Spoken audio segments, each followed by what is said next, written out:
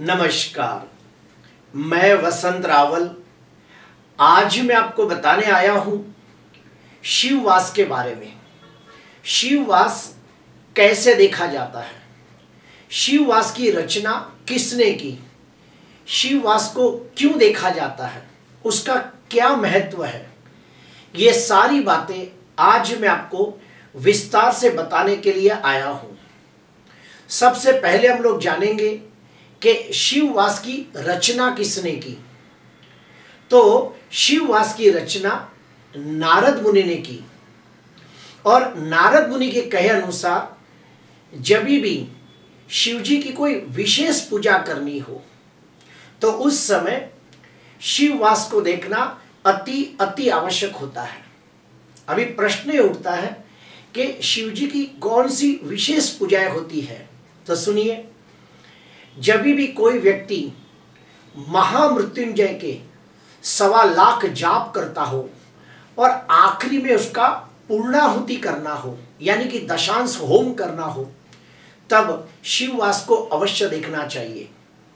जब भी कोई व्यक्ति लघु रुद्र करता हो, अतिरुद्र करता हो, महारुद्र करता हो, तभी भी शिववास को देखना अति आवश्यक होता है।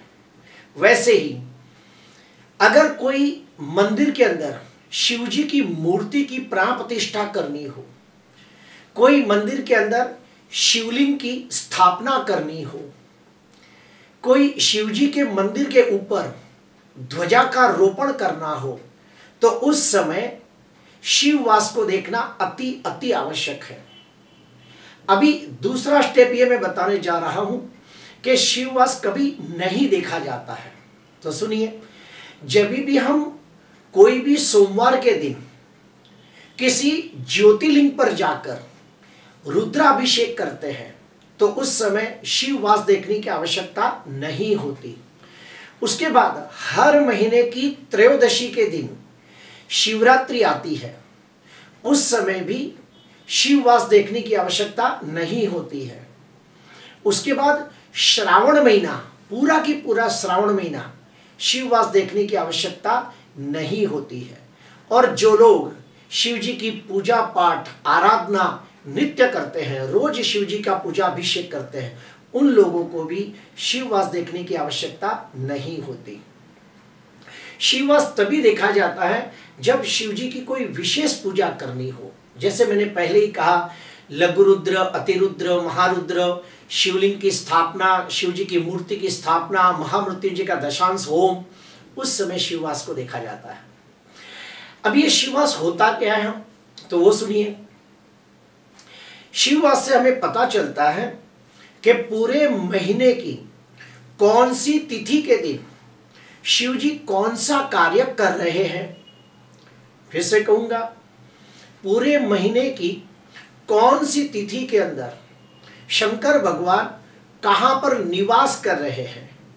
वो अलग अलग सात चीज़ें हमें पता चलती है और उसके द्वारा हमें पता चलता है कि शिवजी की पूजा कब करनी चाहिए और कब नहीं करनी चाहिए।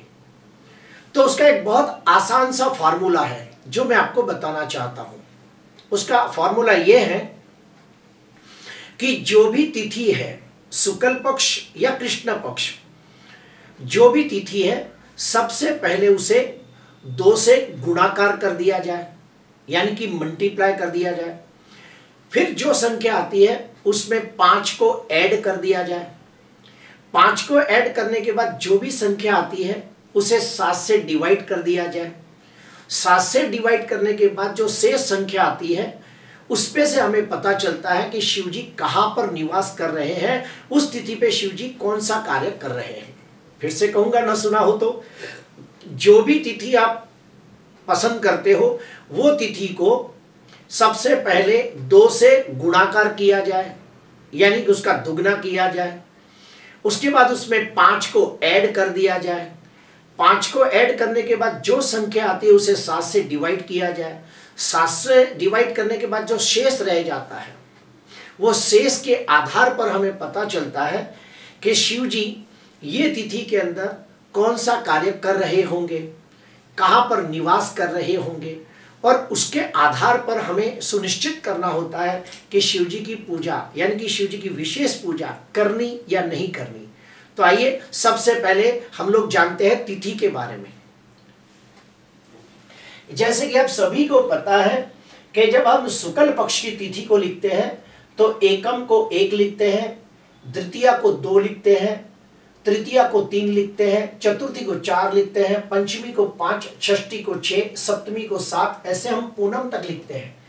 लेकिन जब कृष्ण पक्ष की बारी आती है तो ज़्यादातर लोग वही लिखते हैं, कृष्ण पक्ष एकम, द्वितीय, तृतीय, चतुर्थी, पंचमी, षष्ठी, सप्तमी, अष्टमी, नवमी, दसवीं, ऐसे लिखते हैं। लेकिन हकीकत में इस फॉर्मूले के अंदर हमें कृष्ण पक्ष एकम को सोलह लिखना है, कृष्ण पक्ष द्वितीय को सत्रह लिखना है, कृष्ण पक्ष तृतीया को अठारह लिखना है, यानी कि ये तिथि के अंदर पंद्रह को ऐड कर देना है। जब भी आप कृष्ण पक्षीय तिथियाँ लिखते हो तो उसके अंदर में पंद्रह को ऐड कर देना है तो ये संख्या आ जाएगी। जैसे कि कृष्ण पक्ष एकम के अंदर पंद्रह ऐड करोगे तो सोलह आ जाएगा। जैसे कि कृष्ण पक्ष तृतीया के अंदर पंद्रह ऐड करोगे तो अठारह आ जाएगा। ऐसे ही कैलकुलेशन करना है। अब ये फॉर्मूला क्या है, वो देख लीजिए। सबसे पहले हम लेते हैं, शुक्ल पक्ष की तिथि। शुक्ल पक्ष की द्वितीया को लेते हैं। तो शुक्ल पक्ष द्वितीया को हमें सबसे पहले दो से मल्टीप्लाई करना है तो दो दुनी चार। अभी जो संख्या है उसमें पाँच को ऐड कीजिए। तो चार में जब पाँच को ऐड करते हैं तो टोटल क्या आता है? नौ आता है। अभी जो नौ संख्या है, उसे सात से डिवाइड किया जाए तो सात एकम सात। तो बच गए कितने? दो। तो दो जब शेष संख्या आ गई तो हमें पता चल जाता है कि उस समय, उस तिथि को शिव जी अपनी पत्नी के साथ होंगे तो उनकी पूजा करना लाभकारी होगा। दूसरा एग्ज़ाम्पल देता हूँ कि मान लो कृष्ण पक्ष चतुर्थी है, और कृष्ण पक्ष चतुर्थी के दिन हमें देखना है कि शिव जी कहाँ पर निवास कर रहे हैं तो कैसे जाना जाता है। तो सबसे तो पहले मैं आपको बता दूँ कि कृष्ण पक्ष चतुर्थी के अंदर पंद्रह को ऐड कर दिया जाए। जब पंद्रह को ऐड करेंगे तो टोटल कितना आ गया? उन्नीस। तो उन्नीस को हमें दो से मल्टीप्लाई करना है, दो से गुणा करना है।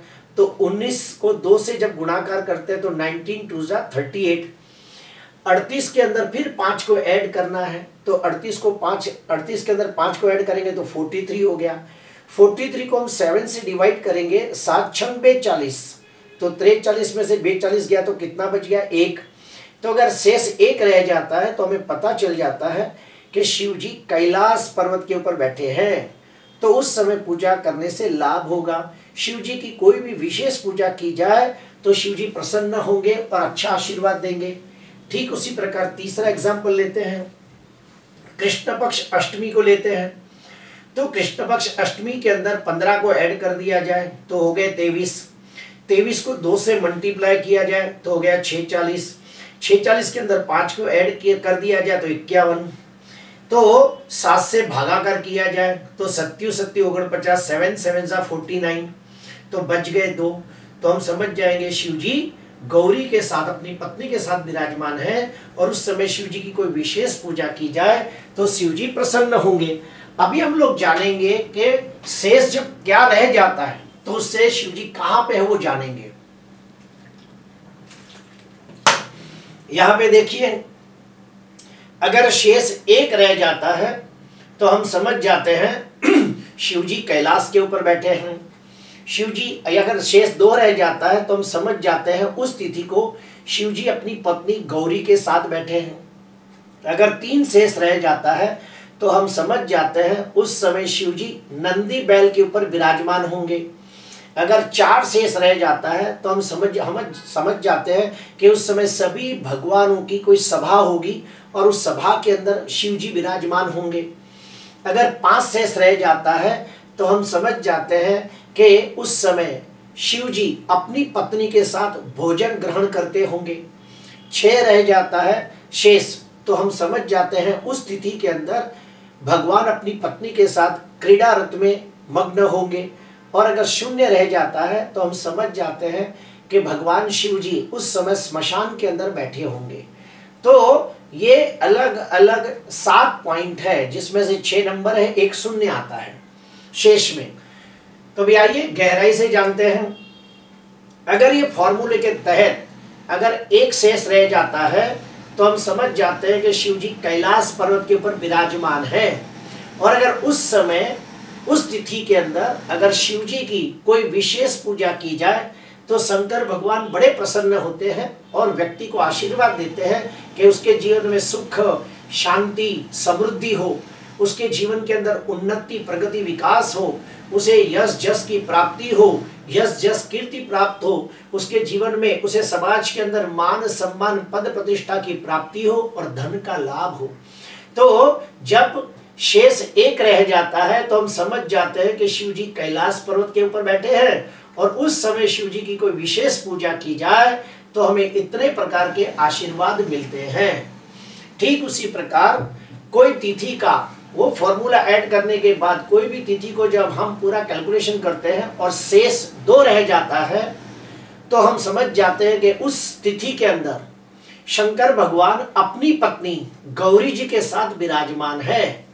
अगर उस समय शिव जी की कोई विशेष पूजा की जाए तो शिव जी के तरफ़ से हमें आशीर्वाद मिलते हैं और हमें सर्व प्रकार के भौतिक सुखों की प्राप्ति होती है, सर्व प्रकार के सांसारिक सुखों की प्राप्ति होती है। व्यक्ति अपने जीवन के अंदर धनवान, यशवान, कीर्तिवान बनता है और समाज के अंदर पद प्रतिष्ठा की प्राप्ति करता है। अगर फॉर्मूले के तहत अगर तीन शेष रह जाता हो तो हम समझ जाते हैं कि शंकर भगवान नंदी बैल के ऊपर विराजमान होंगे। तो उस दिन, अगर उस तिथि के अंदर, अगर शिव जी की कोई विशेष पूजा की जाए तो शिव जी के तरफ़ से व्यक्ति को आशीर्वाद मिलते हैं कि उसके जीवन में सुख, शांति, आनंद, संतोष, समृद्धि उसे प्राप्त होगी। अगर वो व्यक्ति जो बुद्धिमान हो तो उसे और विद्या प्राप्त होगी, उसे ज्ञान की प्राप्ति होगी और समाज के अंदर पद प्रतिष्ठा, यश, जस, कीर्ति, मान, सम्मान प्राप्त होगा।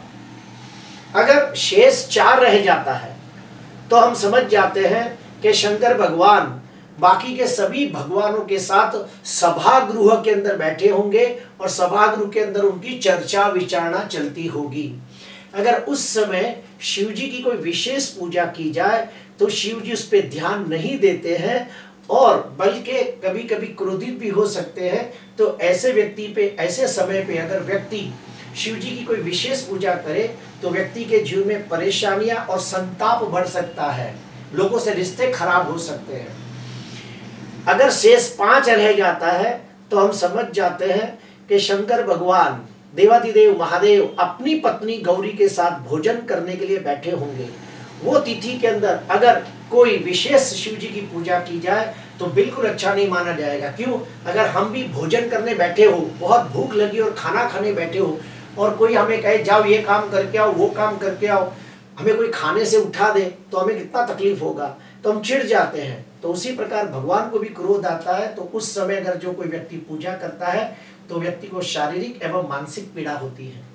अगर शेष छह रह जाता है तो हम समझ जाते हैं कि भगवान शिव जी अपनी पत्नी के साथ क्रीड़ारत होंगे। ऐसी स्थिति में अगर जो शिव जी की कोई विशेष, वो तिथि के अंदर कोई विशेष पूजा की जाए तो व्यक्ति को आर्थिक, मानसिक, शारीरिक कष्ट भी हो सकता है। और अगर जो फॉर्मूले के तहत उस तिथि के अंदर शून्य शेष रह जाता हो तो हम समझ जाते हैं कि उस समय भगवान शिव जी स्मशान में बैठे होंगे, भूत, प्रेत पिचास के बीच में। और ऐसी स्थिति में अगर जो कोई तिथि के अंदर शिव जी की विशेष पूजा की जाए तो बिल्कुल अच्छा नहीं माना गया है। मरण तुल्य कष्ट होता है। प्रिय दर्शकों शिव जी का वास कौन सी तिथि पे कहाँ पे है, ये जानने की विधि को ही शिववास कहते हैं। और ये शिववास तब देखा जाता है जब शिव जी की कोई विशेष पूजा की जाती है। जैसे कि लघुरुद्र, महारुद्र, अतिरुद्र, महामृत्युंजय का दशांश होम, उसके बाद कोई मंदिर के अंदर शिव जी की मूर्ति की प्राण प्रतिष्ठा कोई शिवलिंग की स्थापना, मंदिर के ऊपर ध्वजारोपण ऐसे समय पे, विशेष कार्य के समय शिववास को देखा जाता है। प्रिय दर्शकों, शिववास को कब नहीं देखना है तो हर महीने की त्रयोदशी जब शिवरात्रि आती है, तब शिववास को न देखें। श्रावण महीने के अंदर भी शिववास को न देखें। कोई ज्योतिर्लिंग के ऊपर आप गए हो और वहाँ पे आप रुद्राभिषेक करना चाहते हो तो भी शिववास को न देखें। प्रिय दर्शकों, आज मैंने आपको शिववास के बारे में काफ़ी गहन जानकारी दी है। अगर आपको अच्छा लगा हो तो ज़रूर लाइक करना सब्सक्राइब करना। नमस्कार।